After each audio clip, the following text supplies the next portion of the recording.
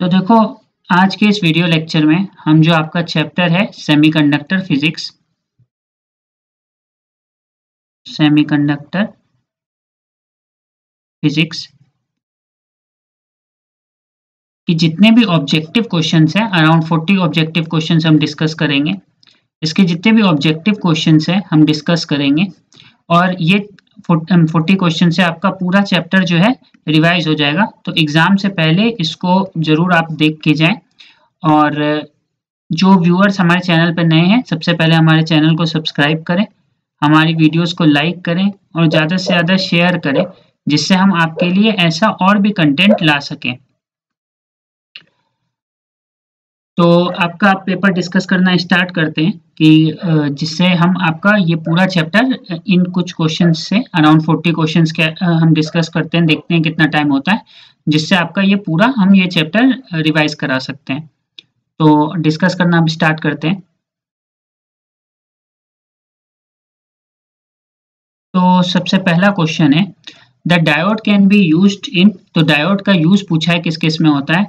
Option A है clipper, option B detector, option C rectifier, या option D all of the तो diode हम clipper में भी यूज़ करते हैं, रेक्टिफायर में भी, डिटेक्टर में भी यूज़ करते हैं, रेक्टिफायर में भी यूज़ करते हैं। तो करेक्ट आंसर होगा आपका option number D all of the अब ये साइड से मैं जो आंसर हो रहा है उसको भी टिक कर दे रहा हूँ। कोई दूसरी पेन ले लूँ, क्योंकि सेम हो जाएगा तो हो सकता है कंफ्यूजन हो। ठीक है। Question number two the forward voltage drop across silicon diode is 0.7 1 volt 5 volt या 0.3 वोल्ट तो करेक्ट आंसर होगा फॉरवर्ड वोल्टेज ड्रॉप पूछा है 0.7 वोल्ट होता है, ठीक है? Correct answer is option number A the figure ये जो डायग्राम दे रखा है, ये रिप्रेजेंट क्या करता है?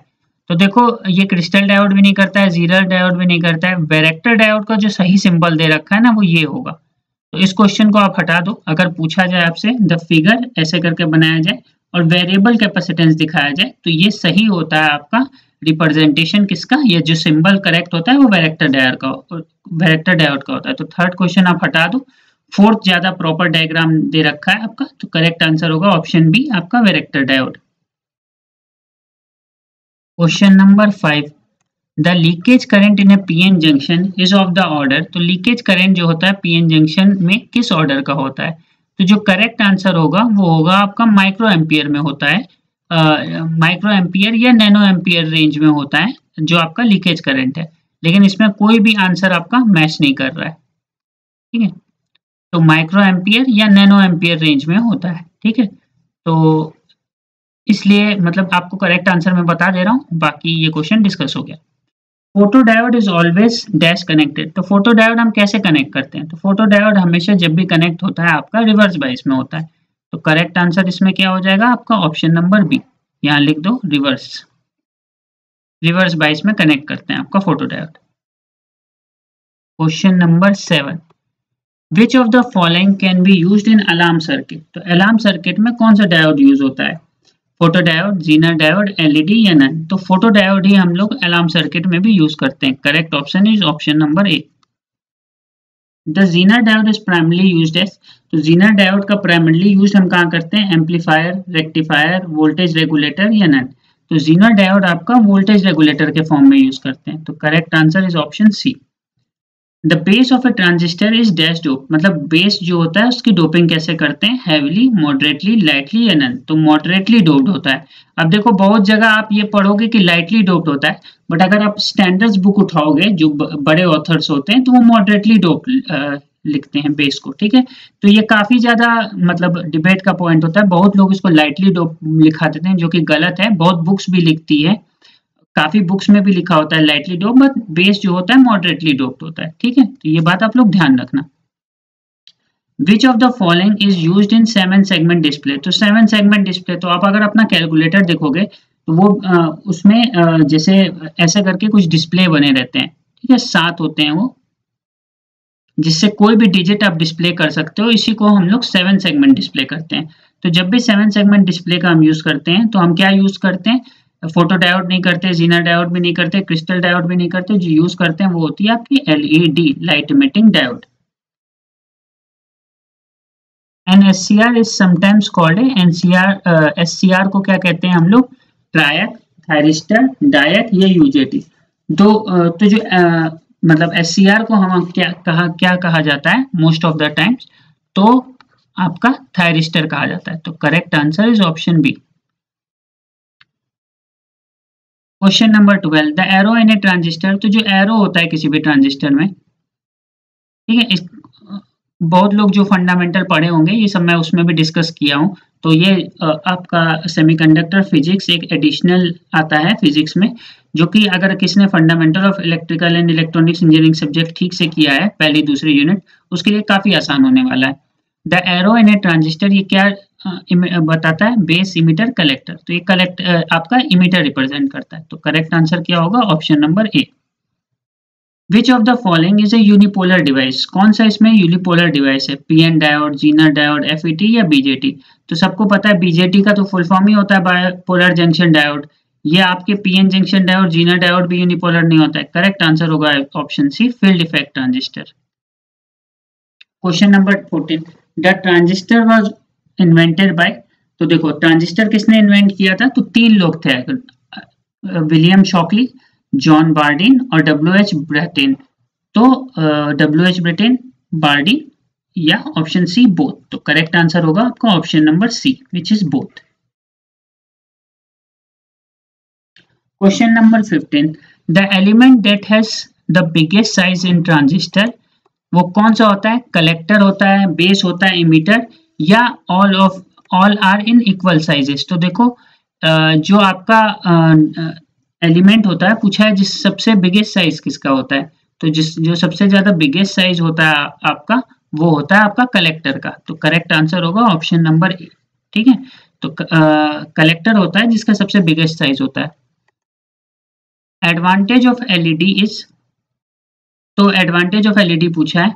ऑप्शन ए है लॉन्ग लाइफ ऑप्शन बी है fast on on off switching option C है लो ऑपरेटिंग वोल्टेज या D all of the above तो करेक्ट आंसर होगा आपका option number D all of the above ये एडवांटेज uh, पूछा है एलईडी का। तो ऑल ऑफ़ द अबव और लॉन्ग लाइफ भी होती है fast on switching low operating voltage तो correct answer is option number D ठीक है ना? D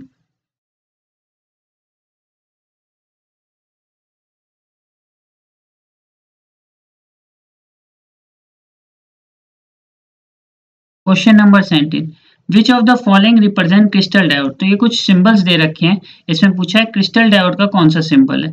तो करेक्ट आंसर जो होगा आपका इसमें रुको तो मैं थोड़ा जूम कर दूँ। Which of the following represent a crystal diode तो जो करेक्ट आंसर होगा वो होगा आपका option number A FET current is controlled by rheostat, Zener diode, electric field, all of the above. Electric field से कंट्रोल होता है field effect transistor is controlled by electric field correct answer is option number C is a symbol of ये एक symbol बना के रखा है तो ये क्वेश्चन ही एक्चुअली गलत है।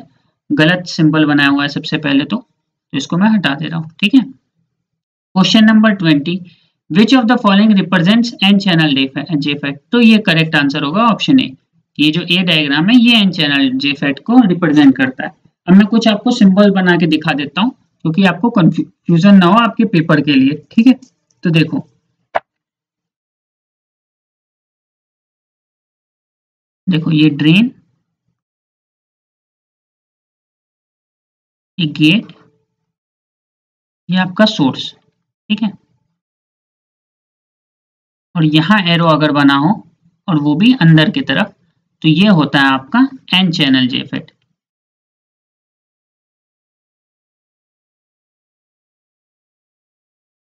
ठीक है? यहाँ आपका गेट ये ड्रेन अच्छा ये एरो थोड़ा बाहर निकल गया, उतना बाहर होगा नहीं, मैं इसको इरेज कर देता हूँ। ठीक? ये गेट ड्रेन सोर्स ठीक है? और ये एरो बाहर की तरफ़ तो ये हो गया आपका पी चैनल जी जी। ठीक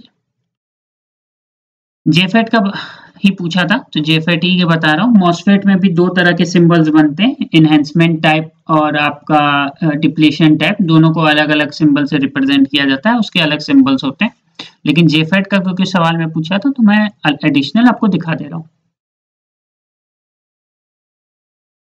Question number twenty one varactor diode is use as for high speed switching as a voltage variable resistor as a variable capacitor या as a variable inductor correct answer option C as a variable capacitor the varactor diode is widely use in varactor diode का ज़्यादातर use कहाँ होता है? F M receiver TV transmit receiver communication system all of the तो all of the अब correct almost हर जगह ही वेरेक्टर डायोड का हम लोग यूज़ करते हैं।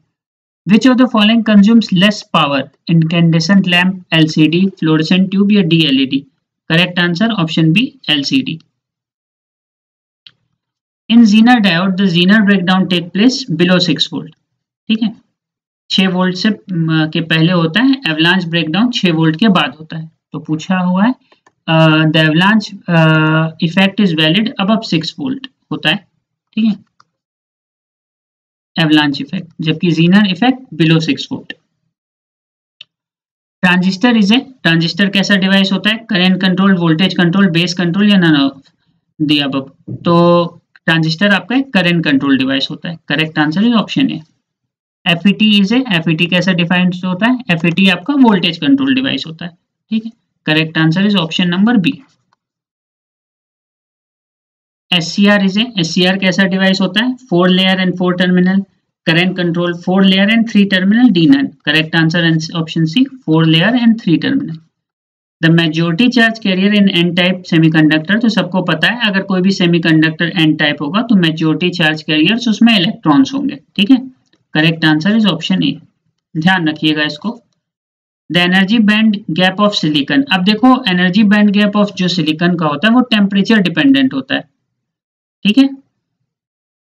टेम्परेचर डिपेंडेंट तो अब इसमें टेम्परेचर मेंशन नहीं किया हुआ है, इसलिए मैं बता नहीं सकता।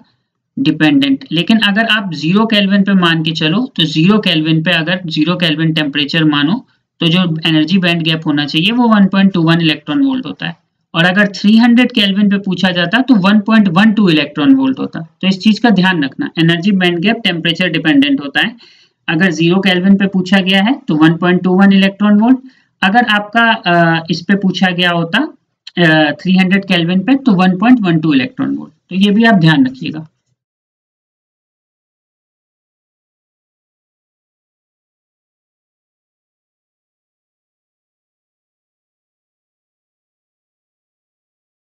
Question number thirty one is semiconductor have dash temperature coefficient तो सेमी कंडक्टर का कैसा टेम्परेचर कोफिशियंट होता है? Correct answer option B negative temperature coefficient होता है।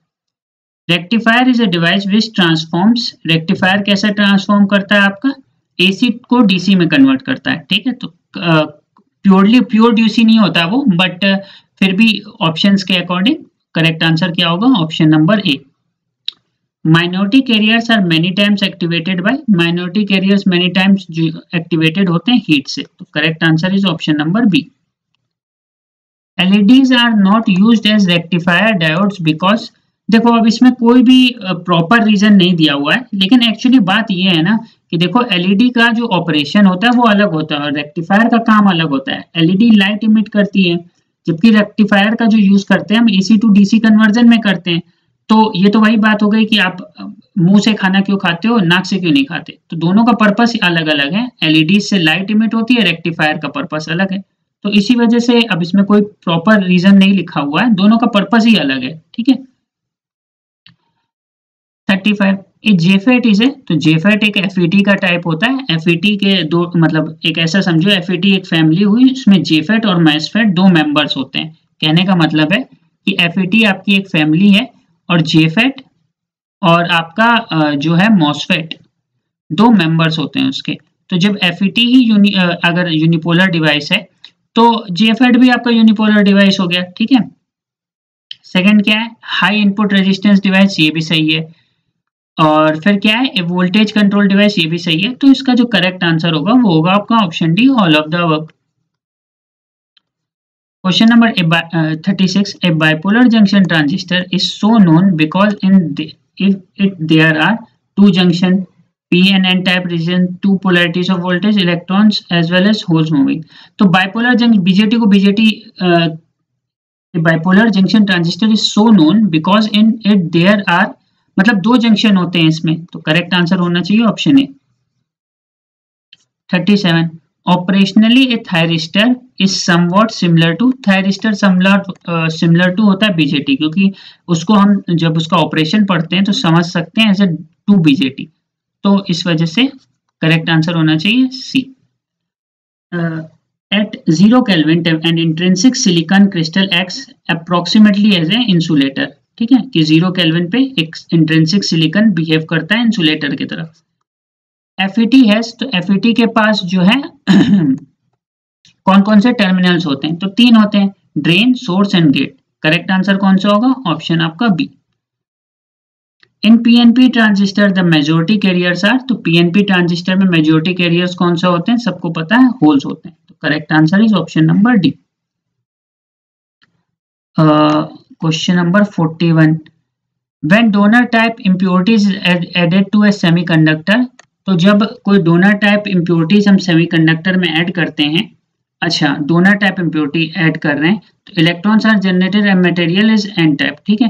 Electrons are generated material is P type तो holes are generated material is P type या holes are generated material M type तो donor type कर रहे हैं तो इलेक्ट्रॉन्स जनरेट होते हैं and the material is N type तो ये अराउंड 40 41 क्वेश्चंस हम डिस्कस कर लेते कर लेते हैं, ठीक है?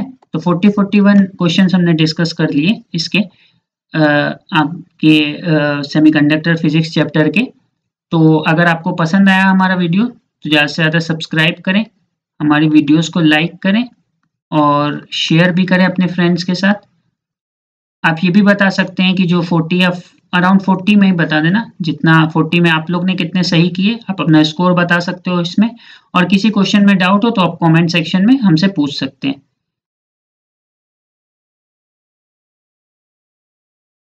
Thanks for watching our video